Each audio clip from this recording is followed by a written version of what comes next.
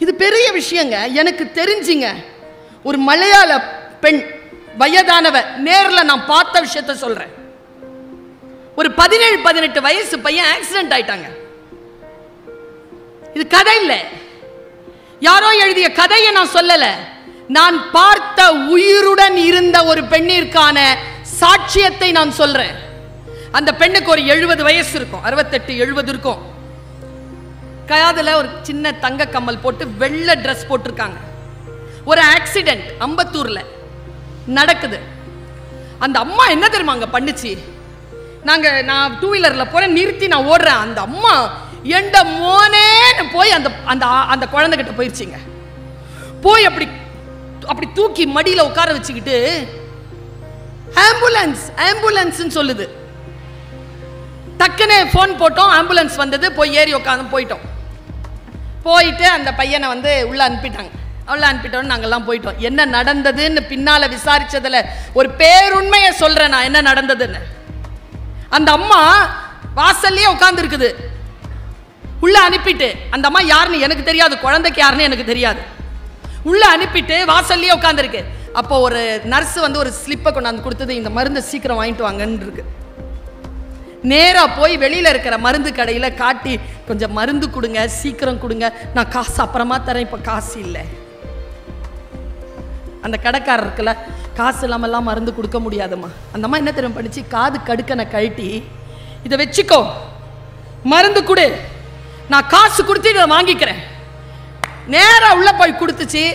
Operation முடிஞ்சுது. பையனுக்கு தலையில அடி ஆப்ரேஷன் முடிஞ்சுது. அந்த பையனை ஜென்ரல் வார்டுக்கு ஷிஃப்ட் பண்ணும் பொழுது ஒரு ஆள் கடகடன்னு ஓடி வரான். ஐயோயோ என் பையன் விழுந்துட்டானாமேன்ட்டு அவன் யாருன்னா மருந்து கிடக்காரன். இந்த அம்மா யாரும் கிடையாது. வழிபோக்கரா போன ஒரு பெண். இது யாரும் கிடையாது. யாருங்க பெரியவங்க? எந்த நேரத்தில் அந்த மனம் மலர்கிறது? எந்த நேரத்தில் நாம் மிகப்பெரிய விஷயத்தை யோசிக்கிறோம்? இந்த உலகத்திலே ஆக சிறந்தது சுதந்திரம்னு நான் சொன்னேன்ல. இந்த மகளிர் தினத்துக்காக சொன்னல பெண்கள் உங்ககிட்ட எல்லார்கிட்டையும் நான் ஒரு வார்த்தையை விதைத்து விட்டு போகிறேன். செய்ய விரும்புவதை செய்வது மட்டுமல்ல சுதந்திரம். செய்ய விரும்பாததை செய்யாமல் இருப்பதும் சுதந்திரம் தான்.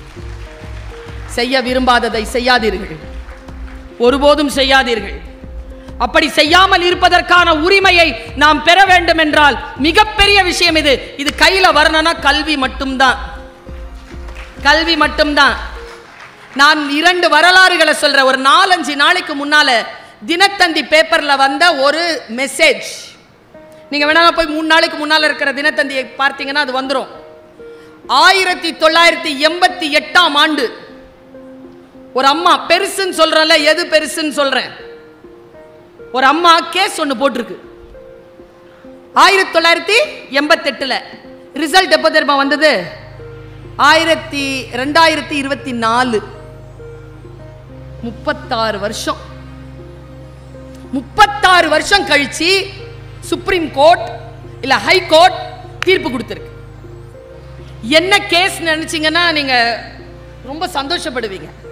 என்ன கேஸ் தெரியுமா அது? செலீனா ஜோன்ஸ் அந்த அம்மா பேரு. யாரோ ஒருவர் செய்கிறார்கள். அந்த பலன் நம்மை வந்து சேருகிறது. நான் இப்படி சொல்றேன். செலினா ஜோன்ஸ் பத்தி சொல்றதுக்கு முன்னால சொல்றேன். நானும் இவர்களும் அவர்களும் இந்த மேடையில் உட்கார்வதற்கும் இப்ப பவா செல்லதுரை உட்கார்ந்துட்டு போனார்ல அவருக்கும் இடையில இருக்கக்கூடிய வித்தியாசம் என்ன தெரியுமா? ஒரு முப்பது வருஷம் அவர் உழைச்சார்னா இந்த சேர்ல அவர் உட்காந்துடலாம் ஆனா ஓராயிரம் வருடங்கள் போராட்டத்திற்கு பிறகுதான் நானும் இந்த பெண்களும் இந்த சேர்ல உட்கார முடியுங்கிற வரலாறு. இந்த போராட்டம் இருக்குல்ல அது ரொம்ப பெருசு. அந்த போராட்டத்தினால் கிடைத்த இந்த உறுதியை இந்த சுதந்திரத்தை எப்படி தக்க வைத்துக் கொள்வதுன்னு சொல்றேன். செலினா ஜோன்ஸ் யார் தெரியுமா? ஆயிரத்தி தொள்ளாயிரத்தி எண்பத்தி ரெண்டு எட்டாம் ஆண்டு டிஃபென்ஸ்ல சேர்ந்த ஒரு நர்ஸ் டிஃபென்ஸ்ல ராணுவத்தில் சேர்ந்த ஒரு நர்ஸ் அந்த நர்ஸ் என்ன பண்றா? சேர்ந்த உடனே அவளுக்கு கல்யாணம் ஃபிக்ஸ் ஆகுது மூணு மாசத்துல. பிரிகேடியர் கிட்ட காட்டுறா கல்யாண அழைப்பிதழ. பிரிகேடியர் பார்த்தாரு சூப்பர் போயிட்டு வானாரு போகிறதுக்கு முன்னாலேயே அவள் போய் ஊரில் இறங்குறதுக்கு முன்னால் அவளுடைய டெர்மினேஷன் ஆர்டர் வந்துருச்சு. நர்சஸ் கல்யாணம் பண்ணிக்கிட்டா ராணுவத்தில் இருக்க முடியாது. அந்த அம்மா என்ன தெரியுமா பண்ணுச்சு? உடனே கேஸ் புக் பண்ணிருச்சுங்க. அந்த கேஸ் நடந்து முப்பத்தாறு வருஷத்துக்கு அப்புறமா தீர்ப்பு வந்திருக்குது. இனி ஒரு பெண்ணினுடைய வேலைக்கும் அவள் செய்து கொள்ளுகின்ற திருமணத்திற்கும் தொடர்பு இல்லை. இந்த முப்பத்தி ஆறு வருடங்கள் அவள் வேலை இல்லாமல் இருந்ததற்காக அறுபது லட்சம் ரூபாயை ஒரே பேமெண்டாக அவர்களுக்கு இந்த டிஃபென்ஸ் தந்துடணும். நான் எங்க தெரியுமா நிக்கிறேன்? இவள் அவள் பெற்று தந்திருக்கிறாள். ஒரு வார்த்தையை நமக்கு. ஆனால் அந்த பெண்ணை பற்றி நான் யோசிக்கிறேன். முப்பத்தாறு வருஷமா. அவள் போராட்டம் இருக்கல அது ரொம்ப பெருசுங்க. கிடைத்த பரிசை விட பெருசு அவளுடைய போராட்டம். இப்போ இந்த வயசில் அந்த அறுபது லட்சம் ரூபாய் வச்சுக்கிட்டு அவன் என்னங்க பண்ண முடியும்? ஒரு ஐஸ்கிரீம் வாங்கி சாப்பிட முடியுமா? எல்லாம் கூட இருக்கிறவங்க சாப்பிட்டு போவாங்க. வாழ்க்கை சில விஷயங்களை நீங்கள் விதைகளாக மாற்றுகின்ற பொழுதுதான் உங்களுக்கு சில விஷயம் கிடைக்குது. சுதந்திரம் அப்படிங்கிற ஒரு விஷயத்தை இதை விட சிறப்பாக சொல்லிட முடியாது அப்படிங்கிற அளவுக்கு அந்த பெரிய உணர்வு இருக்குல்ல? அந்த பெரிய உணர்வை நான் சொல்றேன். எங்க ஐயா நான் காலேஜில் ஒரு காலேஜில் வேலை செய்கிறேன் அந்த காலேஜ் சென்னையில் இருக்கு. ஜஸ்டிஸ் பஷீர் அமத் சயீத் அப்படின்ற ஒருத்தர் அந்த காலேஜை தொடங்கி வச்சிருக்காரு. அந்த மாதிரி நிறைய கதைகள் இருக்கு. ஏன் ஏன் வரலாறு அது? அந்த காலேஜில் வேலை செய்கிறேன்ல அந்த ஜஸ்டிஸ் பஷீர் அகமத் சயீத் பெண்களுக்காக ஒரு கல்லூரி நிர்மாணம் செய்ய வேண்டும்னு சொல்லும் பொழுது நியூ காலேஜ் அப்பதான் வந்துகிட்டு இருக்கு. ஆயிரத்தி தொள்ளாயிரத்தி ஐம்பத்தி ஒன்று. அவர் வெளியேறாருங்க. பெண்களுக்கெல்லாம் கல்லூரி கிடையாதுன்னு சொன்ன உடனே போர்ட் மீட்டிங்ல இருந்து வெளியில வர்றார். முயற்சி செய்து உலகமெல்லாம் சுற்றி பத்து ரூபாய் ஐந்து ரூபாய்னு கலெக்ட் பண்ணி தேனாம்பேட்டையில் ஒரு காலேஜை நிர்மாணிக்கிறாருங்க. எழுபது வருஷம் அது அங்கே தான் நான் வேலை செய்கிறேன் ஜவஹர்லால் நேரு கல்லெடுத்து வச்சிருக்கார். அந்த காலேஜ்க்கு இப்போ சமீபத்தில் கூட ஏ ப்ளஸ் ப்ளஸ் வாங்கணும் முதலமைச்சர் வந்து பாராட்டிட்டு போனார். பெண்கள் கல்லூரி தான் வெறும் பெண்கள் மட்டும்தான். நாங்கள் சாதித்திருக்கிறோம் என்றால் யாரோ ஒருவர் அதற்கு தூண்டுகோலாக இருந்திருக்காங்கல்ல? எங்களுக்கு தலைவராக இருக்கிற ஒருத்தர். அவர் பேர் மூசா ரசா. யாருக்கும் நிறைய பேருக்கு தெரியாது. ஜம்மு அண்ட் காஷ்மீர்ல முதன்மை அலுவலராக இருந்தவர் சீஃப் செக்ரட்டரி ஆனா அது என்ன ஒரு மேட்ரு தெரியுமா? பாபரி மஸ்ஜித் விழுந்ததில்ல அந்த டைம்ல கலவரம் நடந்த பொழுது பல உயிர் சேதங்கள் இல்லாமல் காப்பாற்றியதனால் அவர் பத்மபூஷன் என்கின்ற அவார்டு அவருக்கு கிடைச்சது. மிகச்சிறந்த நேர்மையான ஒரு அதிகாரி அவர். அவர் ஒரு புக் எழுதினாருங்க. ரொம்ப அழகா எழுதுவார். அவருக்கு பெரிய ஃபேன் கிளப் இருக்கு. ஆனா உருதுல தான் எழுதுவார் இங்கிலீஷ்ல தான் எழுதுவார் தமிழ் தெரியாதவருக்கு. அந்த புத்தகத்தை நான் படிக்கிறேங்க. ஆஹா என் மனசுல எங்கேயோ இருந்த ஒரு கதவு திறக்குது. உங்களுக்கு திறக்குதான்னு பாருங்க. கல்வி அதைத்தான் செய்யும். கற்றல் அதைத்தான் செய்யும். கத்துக்கோங்க. சொற்களை தவற விடாம கத்துக்கோங்க.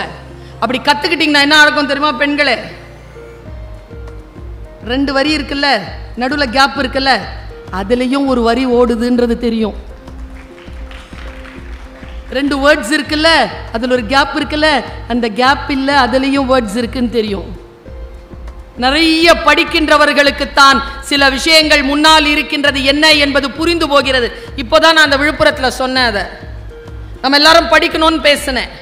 பெரிய விஷயம் படிக்கிறது. நன் இளைஞர்கள் நிறைய பேர் இருக்கிறீங்க. படிக்கிறதுல சுணக்கம் காட்டுகிறீர்கள். வேண்டாம் படித்துக் கொள்ளுங்கள். ஏன் படிக்கணும்னு தெரியுமா பாப்பா?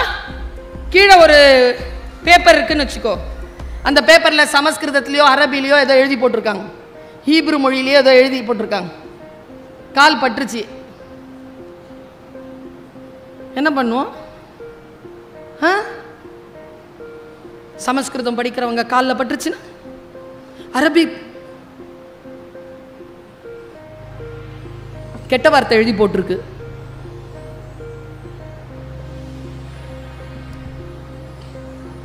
அதனால தான் படிக்கணும். சாமி கும்பிடுறதுக்காக இல்லை புக்கு படிக்கிறதுக்காக. படிச்சாதான் எதெல்லாம் படிக்க கூடாதுங்கிறது தெரியணும். அதுக்காக படிக்கணும். எதையெல்லாம் படிக்கணும்னு தெரியணும் அதனால படிக்கணும். அவர் ஒரு புத்தகம் எழுதியிருக்காரு. நான் உங்க எல்லாருக்கும் சொல்றேன். நீங்க இந்த சேவல் சண்டை பார்த்துருக்கீங்களா? பார்த்திருக்கியா பாப்பா? சேவல் சண்டை? ஒரு படம் கூட வந்துச்சு. ஆ?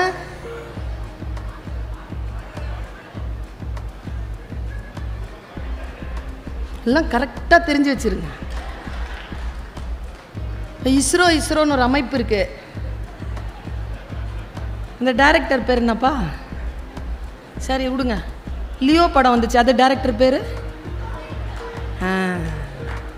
ஜெயிலர் படம் டைரக்டர் இஸ்ரோ இயக்கத்தினுடைய டைரக்டர் சோம்நாத்னு தெரியாது. ஆனால் இவங்க பேர்லாம் தெரியும். இப்போ சொல்லிட்டு போகிறேன் இந்த ஆசிரியர் இதை சொல்லிட்டு போகிறேன் நீங்கள் படம் பேர் சொன்ன உடனே ஒரு டைரக்டர் பேர் சொன்னீங்கல்ல அது தெரிஞ்சு வச்சுட்டு இருந்தால் என்ன நடக்கும்னா அவங்க நிறைய சம்பாதிப்பாங்க இப்ப நான் சொன்னல இஸ்ரோ. சோம்நாத் சார்னு சொன்னல அவங்கள பத்தி நாம தெரிஞ்சுக்கிட்டா நாம நிறைய சம்பாதிக்கலாம் நாம நிறைய பெரிய ஆளாகலாம் நாம பயணம் செய்யலாம் நாம பதவியில் உட்காரலாம் நாம எக்ஸாமினேஷன் பாஸ் பண்ணலாம் நமக்கு பல விஷயங்கள் கிடைக்கும். அவங்களுக்கு தான் கிடைக்காது. யாரை தெரிந்து வைத்திருக்க வேண்டும் என்று தெரிந்து வைத்திருப்பது பெரிதினும் பெரிது. நாம பல நேரங்களில் நான் நான் இந்த இந்த சொல்ல சொல்கிறேன் இந்த இந்த ஆடுகளம் பற்றி சொன்னேன்ல அது சொல்கிறதுக்கு முன்னால் ஒரு விஷயத்த சொல்கிறேன் மனசில் மோதுது அதை விட்டுறக்கூடாதுங்கிறதுனால சொல்கிறேன் நம்முடைய வாழ்க்கை நமக்கு பாடங்களை கற்றுக் கொடுத்து கொண்டே இருக்கிறது. எங்கள் அம்மாங்க எனக்கு நாற்பத்தஞ்சு வயசு தாண்டி இருக்கேன் எங்கள் அம்மாக்கு எழுபத்தி ஒன்பது வயசுங்க. அந்த அம்மா என்கிட்ட இன்னைக்கும் அறிவுரை சொல்லுது. யாருக்கு? ஊருக்கே போய் பேசுறேன் நான். என்ன சொல்றாங்க தெரியுமா? ஒரு நாள் சொல்றாங்க ரொம்ப வெளிப்படையாக சொல்கிறேன் என் உறவுகள் தானே நீங்கள். என் ஒரு அக்கா தங்கச்சி கிட்ட பேசுகிற மாதிரி அண்ணன் தம்பிங்க கிட்ட பேசுகிற மாதிரி பெருந்தகப்பன்மார்கள் இடத்துல பேசுகிற மாதிரி சொல்கிறேன் எங்கள் அம்மா சொன்னாங்க என்ன லிப்ஸ்டிக்லாம் வச்சுட்டு எங்கே போயிட்டேன் அன்றைக்கி லிப்ஸ்டிக்லாம் வச்சுட்டு அப்படியே கரெக்டாக வெளியில் கிளம்புறேன். ரெக்கார்டிங்கா எங்கள் அம்மா இல்லைங்கங்க. எப்போ இப்போ கூட காரில் வரும்போது யோசி எங்கள் அம்மா பற்றி யோசிச்சா சின்ன வயசில் என்ன ஃபோட்டோ ஞாபகம் வருது என்ன முகம் ஞாபகம் வருதுன்னா இந்த கண்ணை உருட்டிட்டு. அப்படி சொல்லல அதான் ஞாபகம் வருது. இப்போ கூட எங்கள் அம்மா பற்றி அதான் ஞாபகம் வருது. எப்படிங்க வளர்த்துச்சு எங்கள் அம்மாங்க? இன்னைக்கு வளர்க்க முடியும் அந்த அம்மா நல்ல கடுமையா எங்களை வளர்த்த அந்த அம்மாவுக்கு கண் கலங்குச்சுன்னா இங்க கரையுதுங்க பதறுதுங்க இங்க. கண் கலங்குச்சுன்னா இங்க பதறுது. கண்ணெல்லாம் கலங்கிருது எனக்கு. நான் முந்தானத்து கண் கலங்கிட்டு உட்காந்துருக்கேன் என் புள்ள வந்தான். வாட் ஹேப்பன் காலைல நல்லா தான் இருந்த? வாட் வாட் ஹேப்பன் நான் எங்கே தெரியுமா எங்கள் அம்மாட்ட போயிலாம் எங்கள் அம்மா கலங்கி உட்காந்து வாட் ஹேப்பன்லாம் கேட்க மாட்டேன். அப்படியே கலங்கி போய் பக்கத்தில் உட்காருவேன். பல நேரங்களில் பக்கத்தில் கூட உட்கார மாட்டேன் தூரமாக நிற்பேன் அந்த சோகத்தை கூட டிஸ்டர்ப் பண்ண மாட்டேனா? அவங்க தெளிவானதுக்கு பிறகுதான் கூட போய் என்ன வேணும்னு கேட்பேனே தவிர பயமா இருக்குங்க கிட்ட போறதுக்கே. அம்மாங்க. அதனால் தான் இவ்வளவு பெரிய ஆளுமையாக என்னால் வளர முடிந்தது. என் புள்ள கேட்கிறானே வாட் ஹேப்பன் அப்படி கேட்குறானே நான் எங்கே கவலைப்படுறேன் தெரியுமா? அவனாவது என்கிட்ட வாட் ஹேப்பன் நல்லா தானே இருந்த ஏன் அழுவுறேன்னு கேட்குறான் அவன் புள்ள அவன்கிட்ட என்ன கேட்கும் எங்கிருந்து தொடங்குவது நான்? பெரிய விஷயங்களை சொல்லி தருகிறேனே. என் அம்மா சொல்லி தருகிறா லிப்ஸ்டிக்லாம் வச்சுட்டு எங்க போற? ரெக்கார்டிங் ஆ. நல்லா தான் இருக்கிற. சரி போ. ஒன்று ஞாபகம் வச்சுக்கோ. அங்க எப்படி சொன்னாங்க தெரியுமாங்க காப்பு இருந்து நிலம் நகர்ந்துருச்சுங்க. அந்த சொற்கள் இன்றைய தாய்மார்களிடத்தில் இல்லையே. என் தாய் கிட்ட இருக்கே. என் வாயில என் பிள்ளைக்கு வர மாட்டேங்குதே எங்க அம்மா சொல்றாங்க கேமரா முன்னால இருக்கணும்னா எவ்வளோ அழகா வச்சுக்கிறோம்ல மூஞ்சிய? எங்க ப்ரொஃபைல்ல இருக்கிற மாதிரி ரொம்ப அழகும் கிடையாது நாம. ஆதார் கார்டில் இருக்கிற அளவுக்கு மோசமும் கிடையாது. எவ்வளோ அழகான ஃபோட்டோவை வச்சிருக்கிறோம். பாப்பா பாப்பா பாப்பா நம்மளை அழகா வச்சுக்கணும் அப்படிங்கிறதுல எவ்வளோ முனைப்பு? எங்க அம்மா சொன்னாங்க இந்த கேமரா முன்னால வரணும் அப்படின்ன உடனே எவ்வளோ அலங்காரம் பண்ணிக்கிற சுல்தானா? அம்மா சொல்ற ஒரு விஷயத்தை கேட்குறியா சொல்லுங்கம்மா. உன்னை பர்மனண்டா ஒரு கேமரா பார்த்துக்கிட்டே இருக்கு. அது முன்னால் அழகா இரு கடவுள். அது உன்னை பார்த்துக்கிட்டே இருக்கு. டுவெண்ட்டி ஃபோர் ஹவர்ஸ் பார்த்துக்கிட்டு இருக்கு. ஒரு வினாடி கூட உன்னை பார்க்கறது அது நிறுத்தலை. அப்படியே பார்த்துக்கிட்டு இருக்கு. இந்த வயதில் என் அம்மா சொல்கிறேன் நான் செருப்பு போடு எங்கள் வீட்டுக்கு வாங்க நீங்கள் மீசாப்பேட்டை நாற்பத்தி மூணு பார் இருபத்தொன்று திப்பு தெரு செகண்ட் ஃப்ளோர் செருப்பு போடுற இடத்துல எங்கள் அம்மா ஒரு நிலக்கண்ணாடி வச்சுருக்கோம். ட்ரெஸ் பண்ணிவிட்டு செருப்பு போட்டு போகும்போது அது சொல்லாமல் சொல்கிற விஷயம் என்ன தெரியுமா? பெரிய விஷயம். பெண் குழந்தைகளுக்கு தேவையான விஷயம். நீ வெளியில் போறியே உன்னை எல்லாரும் எப்படி பார்க்க போகிறாங்க அப்படிங்கிறத முதல்ல நீ பார்த்துட்டு போ. முக்கியமான உடையை உடுத்துகிறாயா?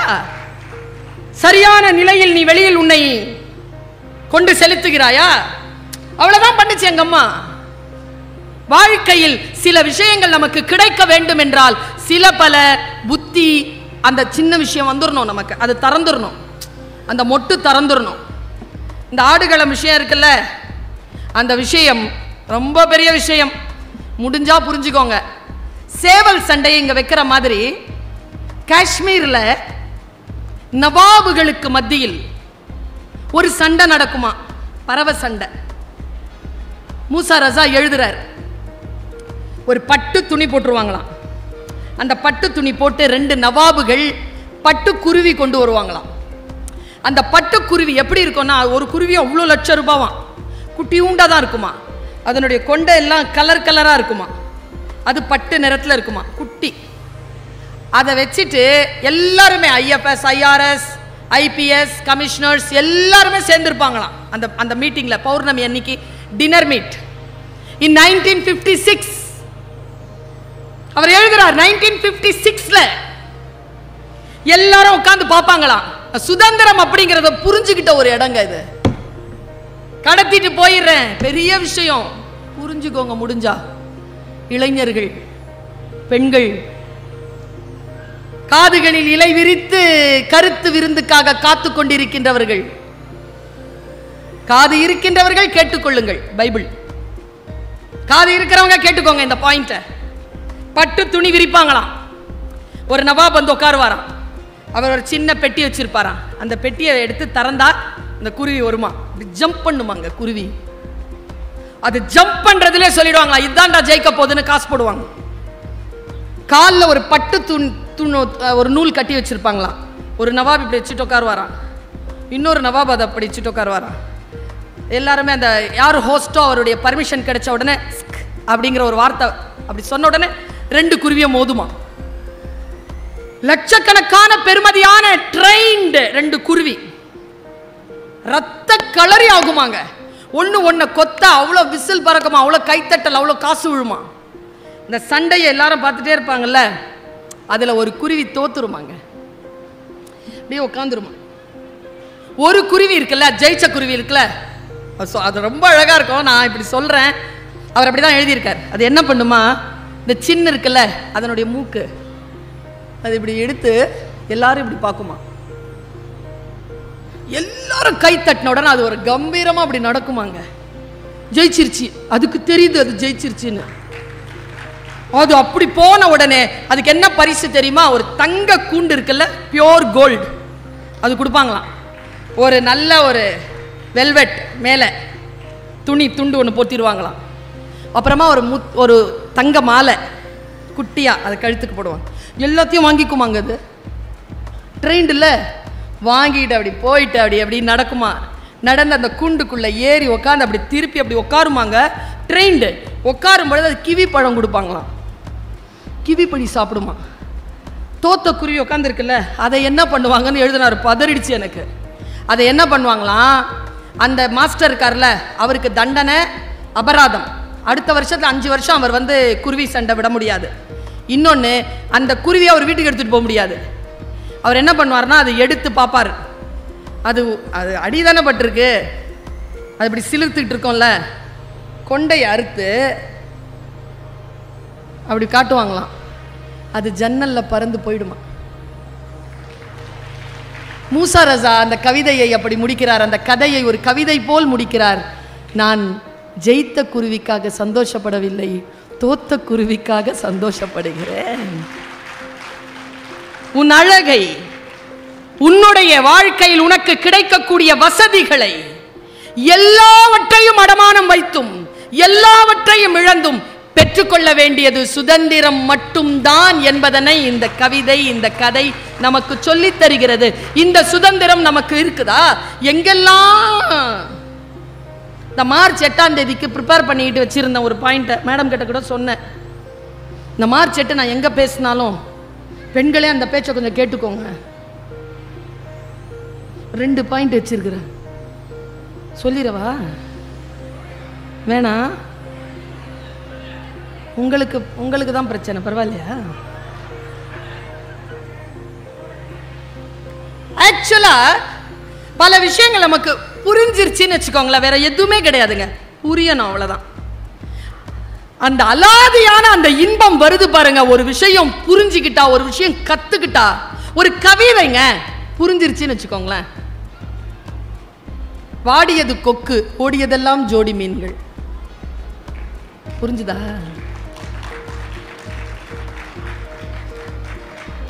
புரிஞ்சவர் எக்ஸ்ட்ரா கை தூக்கி கை தட்டுறார். அவர் பத்து செகண்ட் ஆகும். கதையும் கவிதையும் கதை சீக்கிரம் புரிஞ்சிடும் கவிதையும் ஜோக்கும் லேட்டாக தான் புரியும். ஆனால் புரிஞ்சிடணும் ஊதுகுழல் இசைக்கிறாள் அம்மா நடனம் ஆடுகிறது நெருப்பு.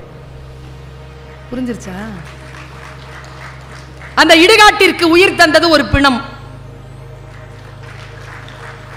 பொத்தல்களோடு தான் தைப்பார்களோ அப்பனின் பனியன்களை